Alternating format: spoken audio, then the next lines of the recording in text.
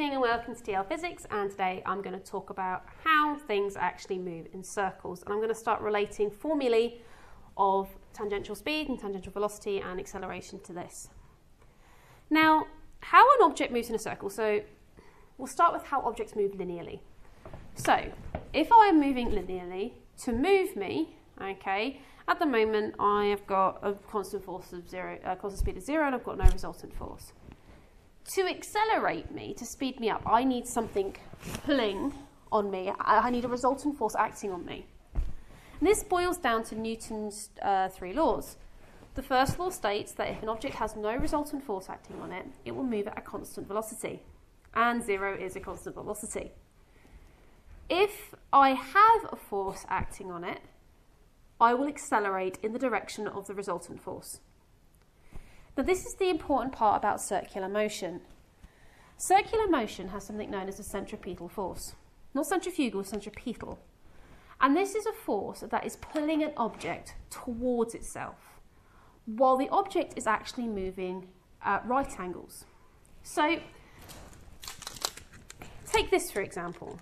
The forces are acting, the weight and the tension, but when it moves, when I move it, at the bottom, the motion here to move this way is at right angles to the force.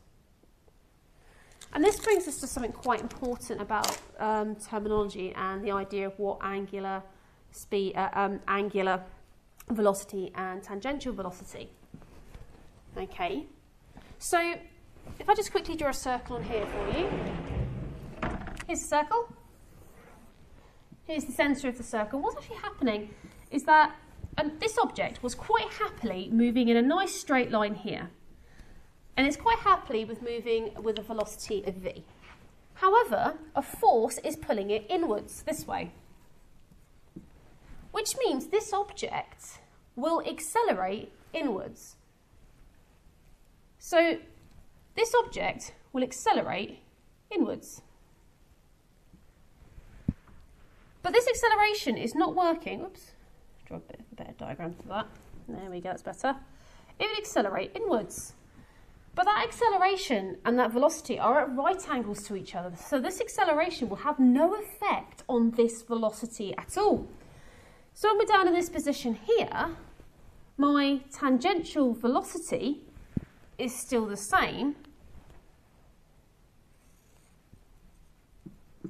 But again, I'm going to be pulled inwards. And you can see how this will continue.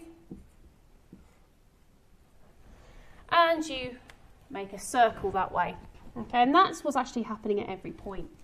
But what's happening is this object is having a velocity this way, but acceleration is pulling it this way. So it's going to keep moving into the centre of the circle. And this force here is called a centripetal force. Okay. This velocity is called a tangential.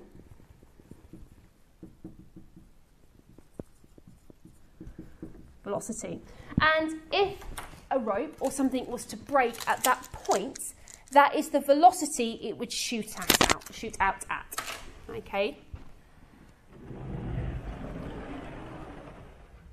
So that's really useful to understand about what these terminology is, but we need to start relating things to each other if we're going to understand how we can calculate forces and speeds, and we can use these formulae all the way. So in a previous video, I spoke about this letter omega, and omega is angular velocity. And this is how much we're spinning in a time. Okay, I'm going to try and relate this to the tangential velocity, v. Okay, so v, okay, is of course displacement over time. And if I go back to this, you can see that of course my direction is constantly changing. So I'm only going to look at the magnitude of this. So I'm looking at the magnitude, so I'm actually looking at the speed. You will be calling it the tangential velocity, but properly, it really should be known as the tangential speed. And the reason is the tangential speed, as you can see from my diagram here, is that it is at a tangent to the radius. And if I drew my velocity vector here, it would be at right angles to my radius. So let's actually look about how much it would do in one spin round. So in one spin, my distance I would travel would be the circumference of a circle, and that is 2 pi r. 2 pi r divided by time. And as you can see here, this bit here is omega. So I can write tangential speed as omega r. Okay. Now, I can acceleration. Acceleration is a relationship between velocity and um, velocity and the uh, time. So it's the, it's the next one down, it's velocity divided by time. But I can't really do that here, not without some more complicated mathematics that you don't need to know. What you do need to know is the formula for acceleration, and this is the acceleration that is pulling it back in, okay?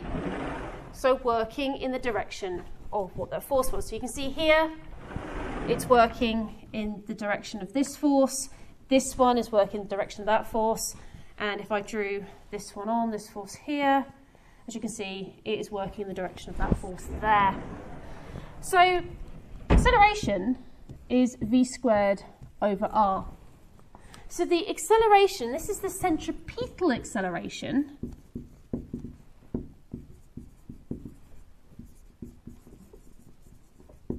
So this is the acceleration that is caused by the centripetal force, this is the acceleration back into the centre of the circle, can be related by the formula v squared. So this is the tangential velocity, or tangential speed, over the radius. I can then, if I wish to, find this formula here, and I can stick this formula that I solved up here into this, and I could have omega squared r squared over r, which would leave me with omega squared r. So these formulae here, this omega is theta over time or 2 pi over t. This tangential velocity, this tangential speed, the speed at any point. Um, here and acceleration. Now it's really important just to make a note that this is constant magnitude. Okay, so it's constant around a circle. So wherever I took it, Okay, round this circle, the velocity would be the same, the speed, the magnitude of this velocity would be the same. The direction would be different, but the magnitude would be constant. Okay.